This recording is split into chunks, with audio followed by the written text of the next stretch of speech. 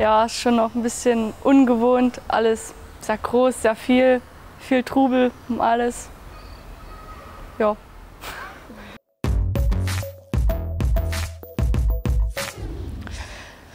Die Saison wird für mich so ein kleiner Schnupperkurs. Ich werde natürlich im Training mein Bestes geben, um auch Spielanteile zu bekommen, aber ich will mehr versuchen von Mette und auch von dieser Luise ähm, viel zu lernen.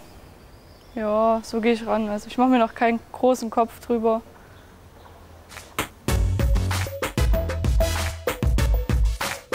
Eigentlich bin ich ein lustiger Typ. Na, wenn ich alleine bin oder wo ich neu bin, bin ich schüchtern.